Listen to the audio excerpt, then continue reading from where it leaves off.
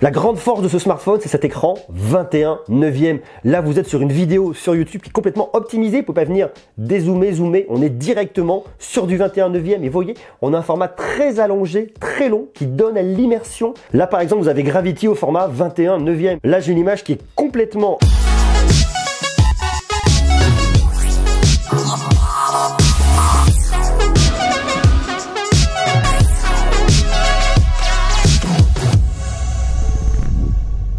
viens vous parler aujourd'hui euh, d'un téléphone avec un format très particulier qui est le seul, enfin un des seuls smartphones euh, sur le marché, il n'y en a pas beaucoup, à proposer un format très particulier, format 21 neuvième, c'est le Sony Xperia 10 Plus. Cette année au MWC, Sony a présenté plusieurs smartphones. Il y en a déjà un que je vous ai présenté il y a quelques jours. Il y a le Xperia 10, il y a le Xperia 10 Plus et il y a le Xperia One qu'on testera un peu plus tard.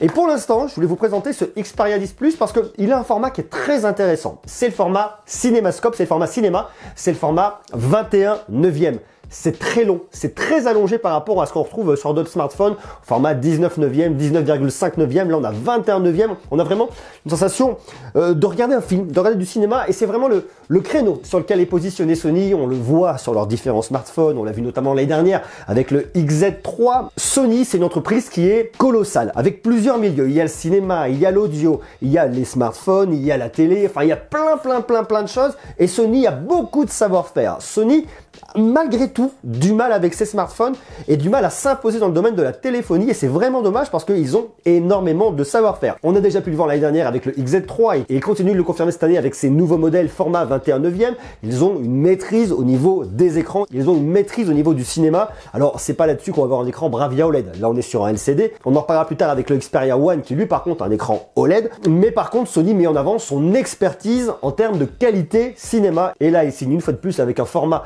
21 neuvième en disant nous, on vous ramène dans le cinéma, on a le cinéma dans votre poche, ça c'est intéressant. Alors au final, est-ce que ce Xperia 10 Plus est intéressant Est-ce qu'il peut réussir à se positionner par rapport à la concurrence? Est-ce qu'il peut faire oublier plein d'autres modèles euh, dans cette gamme de prix? C'est un smartphone qui coûte 425 euros. Je vérifie si j'ai pas dit de bêtises sur mes anti-sèches. 429 euros, excusez-moi, 4 euros près j'y étais.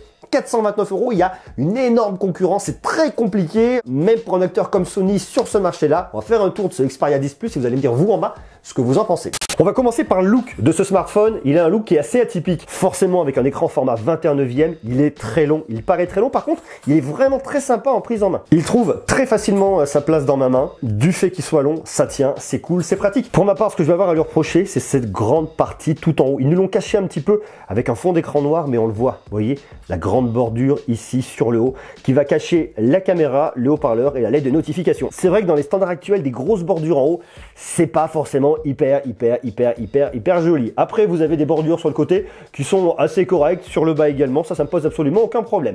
Vous avez néanmoins un verre Corning Gorilla Glass 5 à l'avant pour qu'il soit vraiment résistant. À l'arrière, vous avez un dos plastique avec un effet métallique qui fait le job. Comme sur le dernier smartphone de Sony que j'ai pu tester, vous avez ici votre bouton pour l'allumer, le capteur d'empreinte digitale et ici bouton de volume. C'est très bizarre de devoir l'allumer et ensuite déverrouiller. Alors bon, ça marche, vous appuyez, vous déverrouillez, ça roule, c'est rapide. Néanmoins, on peut venir directement le déverrouiller en appuyant sur le capteur d'empreinte digitale. Donc en gros, le bouton pour l'allumer sert juste à l'éteindre. C'est un peu bizarre. Ça aurait été très bien qu'ils nous mettent ici un bouton capteur. Ça aurait été simple, il y aurait eu plus de sens. Mais bon, ils l'ont fait comme ça. Le bouton de volume, double lecteur de carte SIM, lecteur de carte SIM ici, lecteur de carte micro SD. Vous pouvez monter jusqu'à 512 Go de stockage maximum. On a un design qui est pas mal, mais qui est pas complètement fou. Ce qui fait vraiment la force de ce smartphone, c'est son écran. On a un écran IPS, une dalle LCD de 6,5 pouces, format 21 neuvième. Alors un écran qui est plutôt pas mal, assez lumineux. C'est pas le smartphone le plus lumineux du siècle, c'est pas là où on va avoir la meilleure qualité. Néanmoins, vu son positionnement, il est pas mal. La grande force de ce smartphone, c'est cet écran 21 neuvième. Là, vous êtes sur une vidéo sur YouTube qui est complètement optimisée. Vous pouvez pas venir dézoomer, zoomer. On est directement sur du 21 neuvième. Et voyez, on a un format très allongé, très long, qui donne à l'immersion.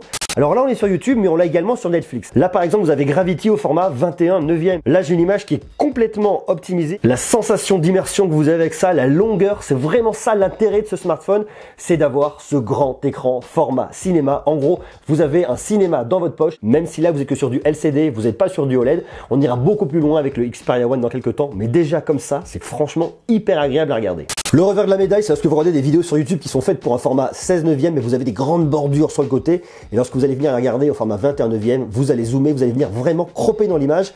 Et ça, c'est tout de suite un peu dommage parce que vous allez perdre quand même pas mal d'informations. Puisqu'on est dans le multimédia, on va rester au niveau de l'audio. Je vous mets le son. Il y a un seul haut-parleur qui se situe ici en haut.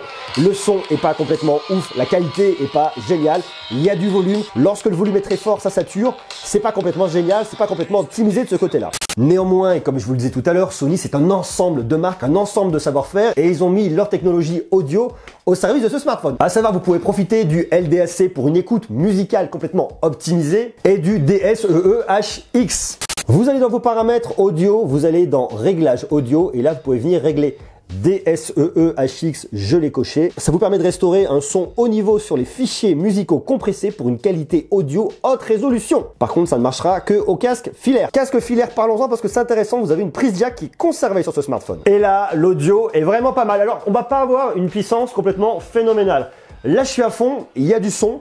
C'est pas complètement dingue, mais ça marche plutôt pas mal. Ça, c'est assez intéressant. Après, si vous souhaitez écouter pas uniquement avec un casque filaire, vous avez bien évidemment du Bluetooth 5.0 dessus pour utiliser euh, l'excellent casque de Sony, le WH-1000XM3. Ça, c'est mon petit casque. Fonctionnera parfaitement bien. C'est aussi très intéressant.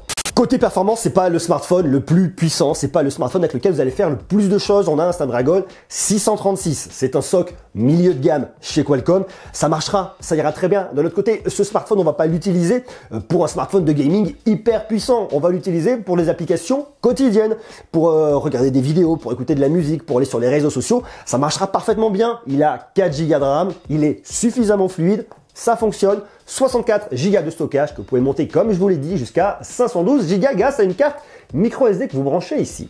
L'autonomie, quant à elle, euh, pas complètement folle. On a une batterie de 3000 mAh. Vous allez recharger en USB type C. Vous n'avez pas de la recharge rapide, vous n'allez pas le recharger très rapidement. Il faudra une bonne heure et demie pour lui mettre une charge, voire un peu plus si affinité. Vous le gardez entre une journée, une journée et demie, deux jours en fonction de votre utilisation c'est pas le smartphone le plus dingue en termes d'autonomie. Du point de vue de l'OS, on se base sur un Android 9 Pie avec une surcouche qui est franchement très légère. Alors c'est un smartphone qui est très grand. Si vous voulez l'utiliser à une main, il faut que vous fassiez un petit double tap là et là vous pouvez l'utiliser à une main. Mais vraiment pour venir vous dépanner, c'est pas très pratique parce qu'on n'y voit pas beaucoup de choses, mais on peut néanmoins l'utiliser à une main comme ça. Ça peut avoir un sens si vous avez l'autre main qui est occupée. Vous voyez, vu le format de l'écran, c'est intéressant. Faites un petit hop, deuxième fois un double tap là et vous revenez comme ça en grand écran. Autre point qui est intéressant, vous avez la petite barre latérale, double tap sur le côté et hop, vous retrouvez votre barre latérale avec vos applications favorites, avec vos petits raccourcis. Pour la navigation, faites un petit glissement sur le côté ici. Vous naviguez entre vos applications ouvertes, c'est pratique, c'est sympa, ça marche bien, ça c'est aussi cool.